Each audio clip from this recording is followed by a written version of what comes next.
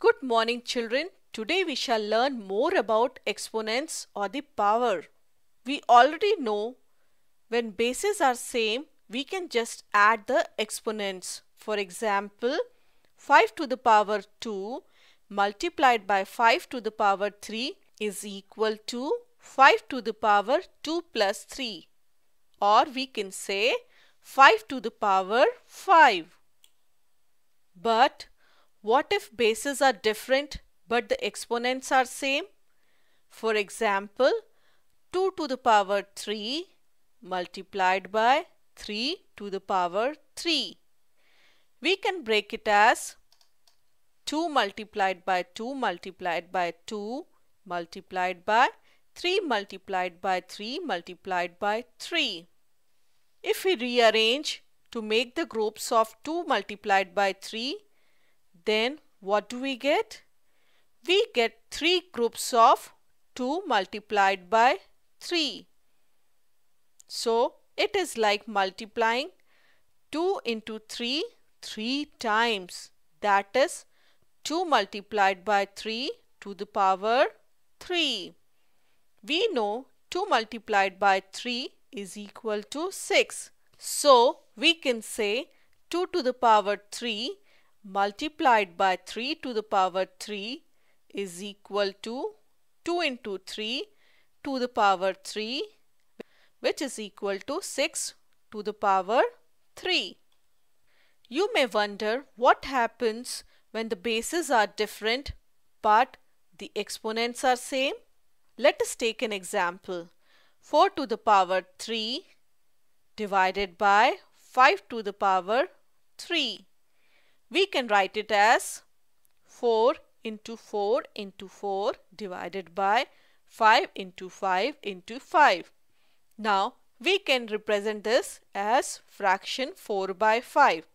So here we are actually multiplying 4 by 5 3 times and we get 4 by 5 multiplied by 4 by 5 multiplied by 4 by 5. That is 4 by 5 raised to the power 3. So we can say 4 to the power 3 divided by 5 to the power 3 is actually equal to 4 by 5 raised to the power 3. So when the bases are different but exponents are same like a to the power m divided by b to the power m, we bring all the bases under same parenthesis and exponent remains the same. So, a to the power m multiplied by b to the power m becomes ab to the power m and a to the power m divided by b to the power m becomes a divided by b and whole of this raised to power m. Now how to simplify this? We have 4 to the power 3 multiplied by 3 to the power 3 multiplied by 625 and whole of this is divided by 6 to the power 3 multiplied by 5 to the power 2. Looks complicated, isn't it?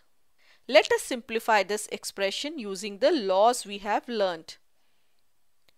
Now here we can take 4 and 3 and 6 under the same parenthesis as their exponents are same.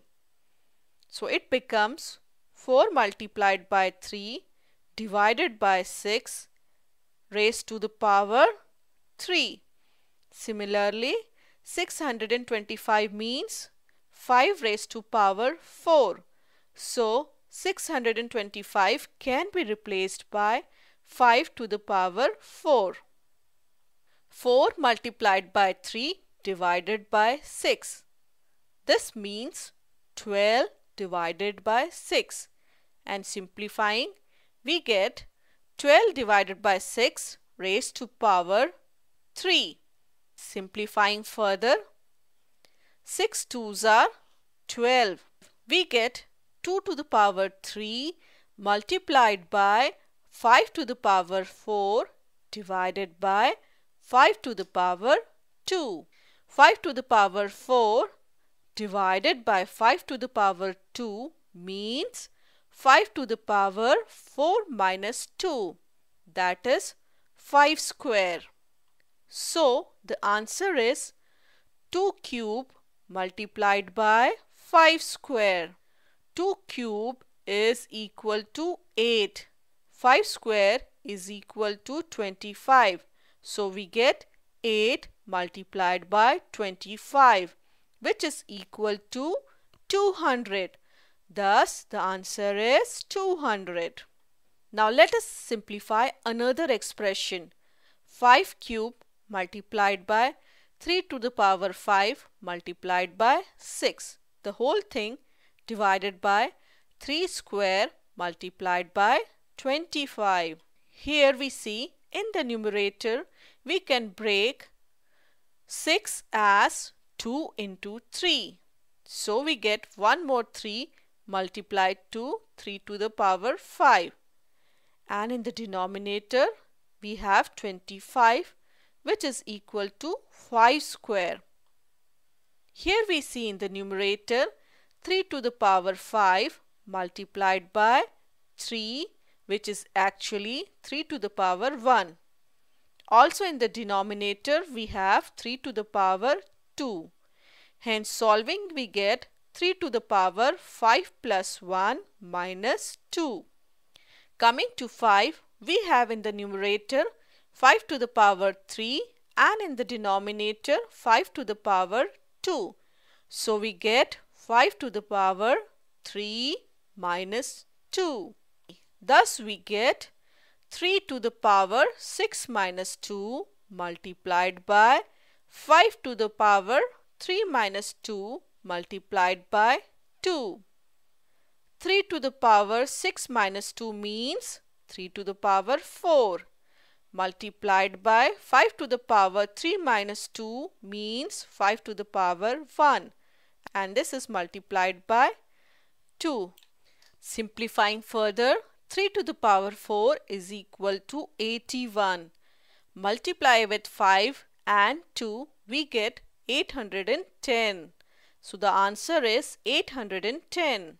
So in a nutshell when the bases are same during multiplication like a to the power m multiplied by a to power n we just add the exponents. So it is equal to a to the power m plus n.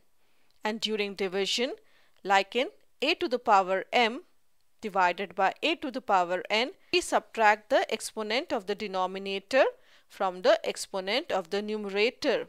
So it becomes a to the power m minus n. But when the bases are different and the exponents are same, like in a to the power m multiplied by b to the power m, we bring all the bases under the same parenthesis and the exponent remains the same. So, a to the power m multiplied by b to the power m becomes ab to the power m. Same way, a to the power m divided by b to the power m becomes a divided by b whole raised to power m. And you know this is what exactly the sixth and the seventh law of exponents say. So according to the sixth law of exponents, if a and b are the rational numbers and m is any whole number, then a to the power m multiplied by b to the power m is equal to ab to the power m. And according to the seventh law of exponents, if a and b are the rational numbers and m is any whole number, then a to the power m divided by b to the power m is equal to a divided by b whole raised to power m. So that was all about exponents. Bye bye children.